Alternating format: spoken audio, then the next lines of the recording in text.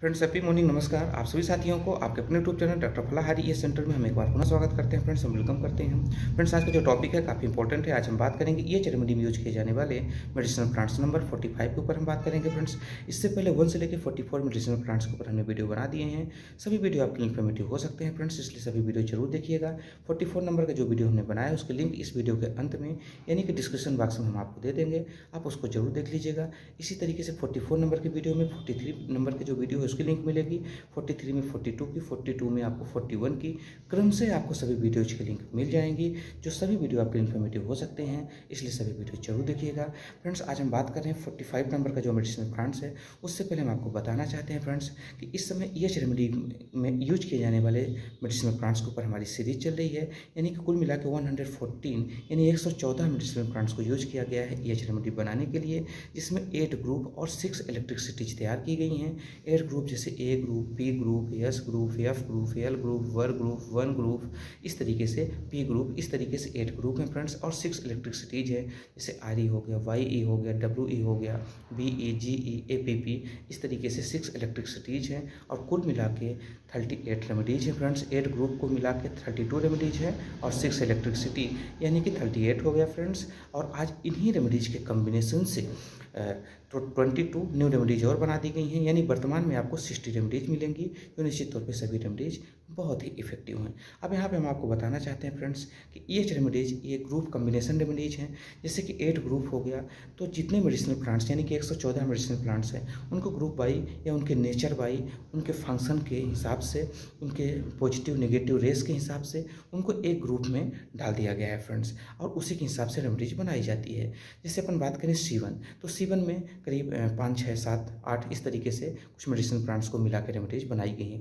यानी कोई भी रेमेडी किसी भी सिंगल मेडिसिनल प्लांट से नहीं बनी है कम्बिनेशन प्लांट से बनी है। अब जैसे सी टू की बात करें तो उसमें फिर कुछ दूसरे प्लांट आ गए हैं। सी थ्री में बात करें तो जो सी वन और सी टू में थे तो इनके साथ साथ कुछ और एड हो गए होंगे, कुछ डिलेट हो गए होंगे। तो इस तरीके से अलग अलग रेमेडीज बनाई गई हैं। इनको याद करना संभव नहीं है, आप उसको बुक में पढ़ सकते हैं कि किस ग्रुप में कौन कौन से मेडिसिन प्लांट्स को या कि कितने कितने मेडिसिन प्लांट्स को यूज़ किया गया है। आप उसको देख सकते हैं। इसके ऊपर ऑलरेडी हमारे वीडियो बन चुके हैं। आप उसके माध्यम से जानकारी प्राप्त कर सकते हैं फ्रेंड्स तो आज हम बात कर रहे हैं अपने पॉइंट में आते हैं फ्रेंड्स कि 45 नंबर का जो मेडिसिनल प्लांट्स हम इसके ऊपर बात करेंगे फ्रेंड्स उसके पहले अगर आप चैनल में नए हैं तो चैनल को सब्सक्राइब ज़रूर कर लीजिए बेलाइकन को ऑन कर लीजिए फ्रेंड्स वीडियो अच्छा लगे तो इसको लोगों तक ज़रूर पहुँचाइए फ्रेंड्स क्योंकि लोगों में ये रेमेडी के प्रति प्लांट मेड रेमेडीज के प्रति अवेयरनेस आए और निश्चित तौर पर अगर किसी को किसी प्रकार की समस्या है तो ये थेरेपी बहुत ही कारगर है और नेचुरल तरीके से आप लोगों को ठीक करने में मदद कर सकें फ्रेंड्स तो इसलिए वीडियो अगर अच्छा लगे तो इसको लोगों तक ज़रूर पहुँचाइएगा फेसबुक के माध्यम से व्हाट्सअप के माध्यम से ट्विटर के माध्यम से इंस्टाग्राम के माध्यम से यूट्यूब के माध्यम से, जो भी आपके पास संसाधन है, उनके माध्यम से आप लोगों तक ज़रूर पहुंचाइए, जिससे लोगों में अवेयरनेस आए फ्रेंड्स तो आज हम बात कर रहे हैं फोर्टी फाइव नंबर का जो मेडिसिनल प्लांट्स है फ्रेंड्स इसका नेम क्या है कॉमन नेम क्या है, इसका कौन सा पार्ट यूज़ किया जाता है फ्रेंड्स इसके अंदर पाए जाने वाले जो रासायनिक घटक है, फिर ये किस ई एच ग्रुप रेमेडी में इस्तेमाल किया गया है, और इसके अंदर पाए जाने वाले जो मेडिसिनल बेनिफिट्स हैं, हम इसके ऊपर बात करेंगे फ्रेंड्स तो इसका जो नेम है फ्रेंड्स वो है जेनिस्टा इसको पायरिया। ये एक प्रकार का हर्ब है फ्रेंड्स यानी कि छोटा सा पौधा होता है इसका।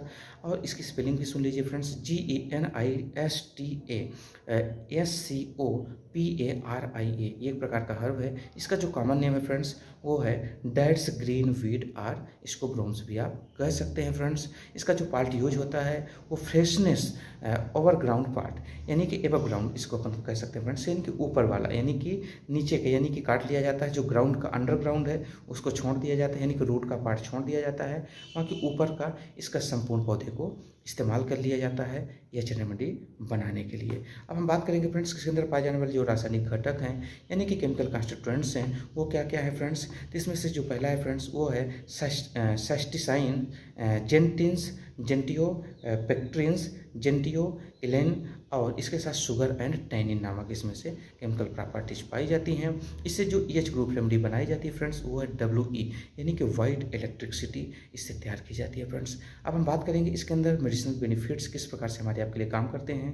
तो फ्रेंड्स ये जो रेमेडी है, ये स्पेशली इसका जो एक्शन है, वो है हमारे हार्ट के ऊपर। यानी कि हार्ट के ऊपर इसका बहुत अच्छा फ़ंक्शन है फ्रेंड्स यानी कि cardiac related problems including float retention जिसको अपन इडिमा बोलते हैं। यानी कि शरीर के अंदर जो पानी का जमा होना, कई बार हार्ट फेलियर की वजह से, किडनी फेलियर की वजह से, या कि प्रॉपर काम ना करने की वजह से शरीर में एक्सेस वाटर रिटेंशन यानी कि जो टॉक्सिन्स है, वो प्रॉपर नहीं निकल पाता और शरीर में पानी का जमा होना शुरू हो जाता है।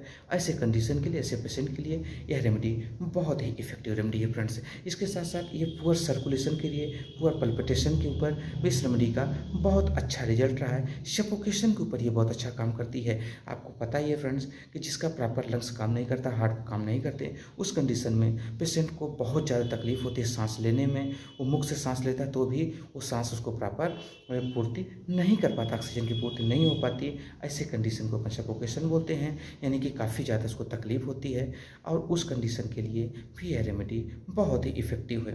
ये इम्प्रूव करती है ऑक्सीजन लेवल का हमारे ब्लड में, हमारे शरीर में ऑक्सीजन लेवल की ये मात्रा को बढ़ाती है फ्रेंड्स इसके साथ साथ इरेगुलर हार्ट बीट के ऊपर भी यह रेमेडी बहुत इफ़ेक्टिव है। तो हम उम्मीद करते हैं फ्रेंड्स कि वीडियो आपको इन्फॉर्मेटिव हो सकता है। अगर वीडियो अच्छा लगे तो इसको लोगों तक ज़रूर पहुँचाइएगा। हम मिलेंगे न्यू वीडियो के साथ, अगली रेमेडी के साथ। तब तक के लिए अनुमति दीजिए। नमस्कार।